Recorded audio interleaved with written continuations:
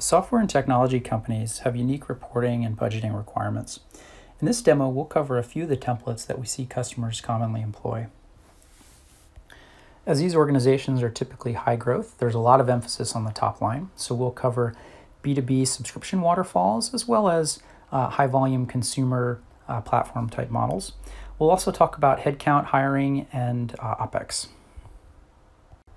Now, model and adaptive is made up of a set of sheets in this case, um, financial statements, uh, income statement, balance sheet, cash flow, as well as a set of uh, operational schedules and drivers that cover things like sales, marketing, uh, and so on. I've opened up a, a, set of these across the top that we'll tap through in a minute. But for now, let's get started on the P&L. And here you can see it looks and feels much like Excel. I've got natural accounts down the left-hand side and, and time across the top. But there are a couple other things going on as well. The green numbers there uh, signal that those are actuals, which have been imported from a transactional system like my ERP, uh, while the black is the forward uh, estimates going forward.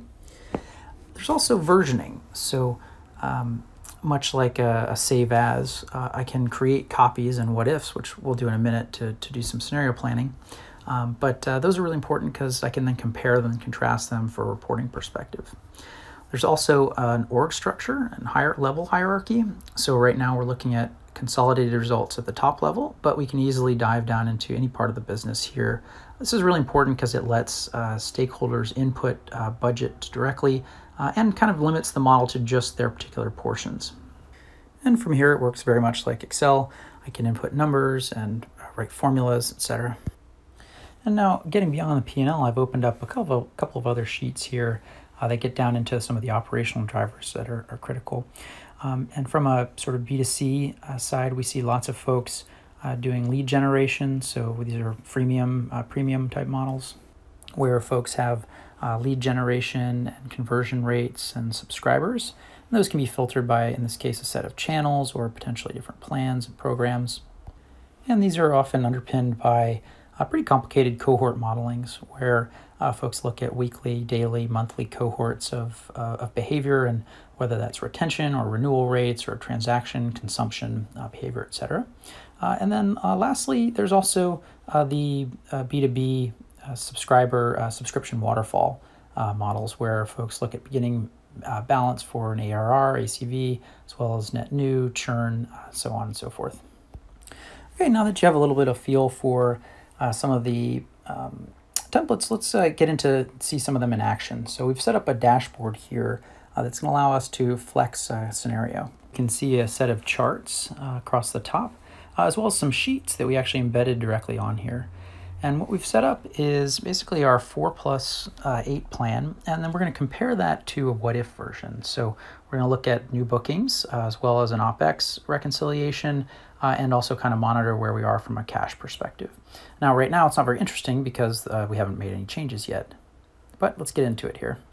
So we'll start here with our top line bookings um, drivers. And let's just assume there was a global pandemic in the first quarter and we need to revise guidance down for the forward years. So let's take our growth assumption down uh, and also in particular, maybe our attainment assumptions for our enterprise reps. Uh, guide those down a little bit and spread those out uh, evenly for the remainder of the year. Let me save the changes here.